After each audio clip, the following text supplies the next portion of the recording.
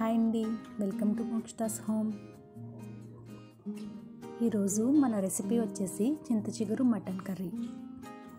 యాక్చువల్గా non veg items ఏమైనా సరే మనం మసాలాలు వాడి తయారు చేస్తాం. కానీ నేను ఈరోజు ఈ చింత చిగురు మటన్ కర్రీకి ఎటువంటి మసాలాలు వాడకుండా సింపుల్గా టేస్టీగా ఏ విధంగా తయారు చేయాలో చూపిస్తాను. మసాలాస్ ఏమి వాడకపోయినా టేస్ట్ అయితే చాలా బాగుంటుంది.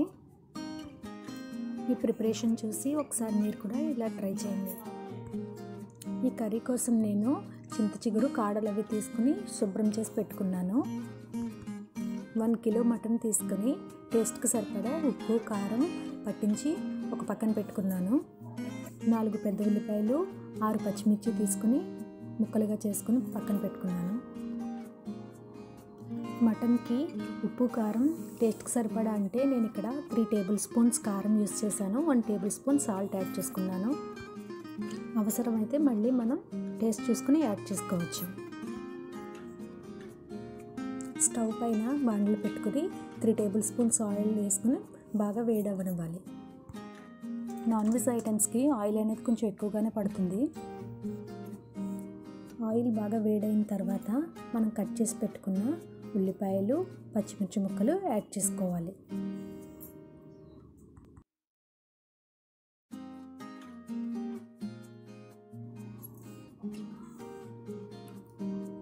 మధ్య మధ్యలో కలుపుకుంటూ ఉల్లిపాయలు బాగా వేగనివ్వాలి.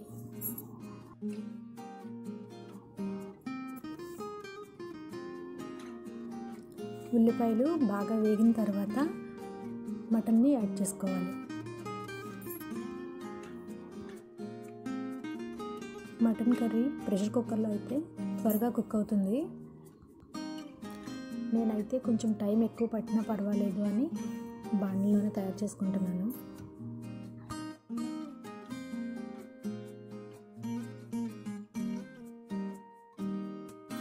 మటన్ యాడ్ చేసిన తర్వాత మధ్య మధ్యలో కలుపుకుంటూ బాగా కుక్ అవ్వడతాను ఫ్లేమ్ని మీడియం ఫ్లేమ్కి అడ్జస్ట్ చేసుకోవాలి. మూత పెట్టుకుని మీడియం ఫ్లేమ్ పైన మధ్య మధ్యలో కలుపుకుంటూ మటన్ బాగా ఉడకనివ్వాలి.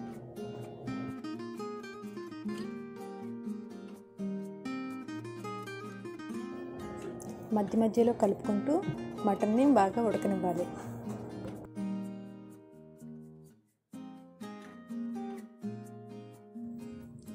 మటన్ కొంచెం కుక్ అయిన తర్వాత మనం శుభ్రం చేసి పెట్టుకున్న చింత చిగురిని యాడ్ చేసుకోవాలి.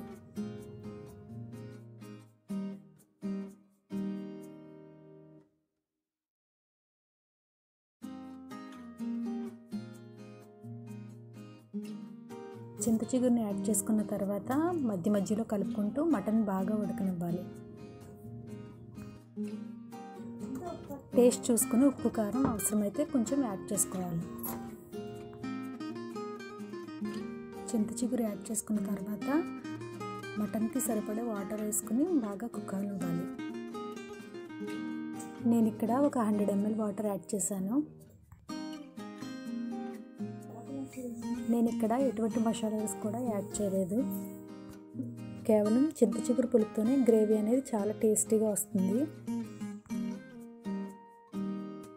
ఉప్పు కారం అడ్జస్ట్ చేసుకుని మటన్ సాఫ్ట్గా అయ్యేంత వరకు ఉడకనివ్వాలి. ఆయిల్ పైకి తేరుకుని గ్రేవీ అంతా దగ్గరకు అయ్యేంత వరకు కుక్ చేసుకోవాలి.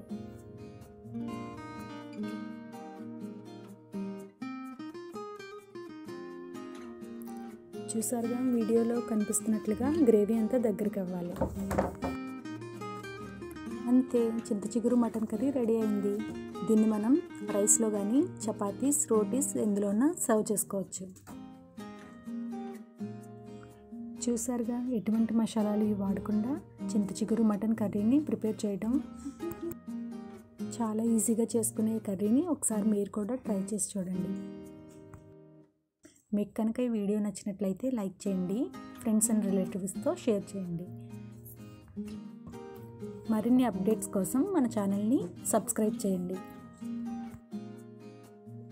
Thank you for watching my video